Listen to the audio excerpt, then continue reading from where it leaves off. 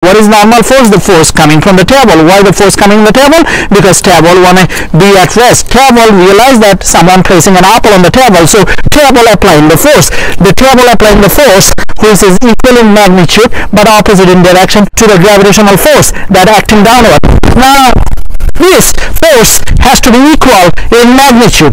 Is this equal in magnitude? No. This is not equal in magnitude. So I have to cut because this has to be equal in magnitude. This is the, the normal force and this is the gravitational force. I have to do that. I have to cut uh, to make sure that the force is equal. I did it. I did it. So this one, this is the gravitational force acting on this apple. This is the normal force.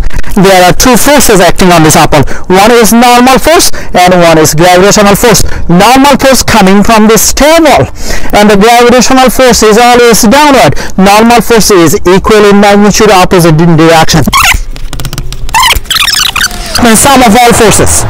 All right. So now f fx and fy sigma fx and sigma fy so how many forces acting at the x direction if you see how many forces acting at the x direction, there is no forces acting at the x direction. How many forces acting at the y direction? Now I'm going to look at the y direction and I will see these forces acting at the y direction. So I'm going to write this one.